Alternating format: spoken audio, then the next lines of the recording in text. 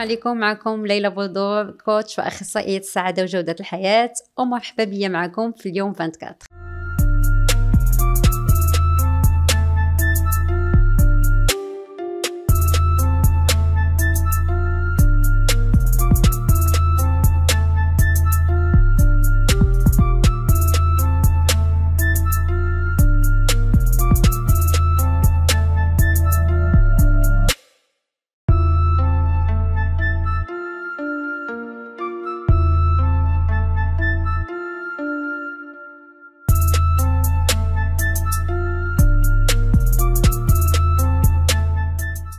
القلق آه، أغلب في أغلب الأحيان كيجينا من خلال الأفكار اللي حنا كنسجوها في دماغنا.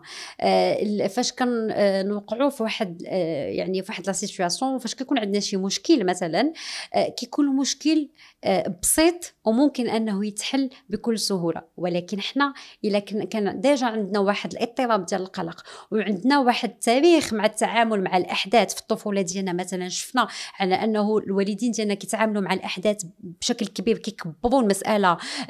شفنا مثلا على أنه حتى من المجتمع كنتأثروا فيه أنه انه أي حاجة بسيطة كان كنكبروا من كنكبروها فأوتوماتيكمون فاش غنوقع في شي مشكل غادي نكبرها في الخيال ديالي لأنه بالنسبة لي هذيك الطريقة الصحيحة لمعالجة هذاك المشكل. القلق ماشي دائما آه، يقدر أنه آه، يكون آه، سبب في الاكتئاب الا عرفنا كيفاش نتعاملوا معاه. خاصنا نحجموا هذيك المشكلة ونرجعوها الحجم ديالها الحقيقي ونتعاملوا مع المشكلة لأنه القلق كيجينا من كثرة التفكير ومن كثرة ما حنا كنبقاو نعالجوا في هذاك المشكل في دماغنا وكنضوبوا هذاك المشكل وربما ما كيكونش كيستحق هذاك الحجم اللي حنا عطيناه. آه فمن الأحسن أن نتعاملوا مع المشكل ولكن كنحسوا بصنا دائما كنفكروا يعني عندنا التفكير الزائد وكنفكروا دائما في المشاكل بكثرة وكان الشيء كيسبب لنا اضطراب النوم وأكيد عنده مجموعة من الحاجات اللي سلبيه اللي ممكن توصل للاكتئاب.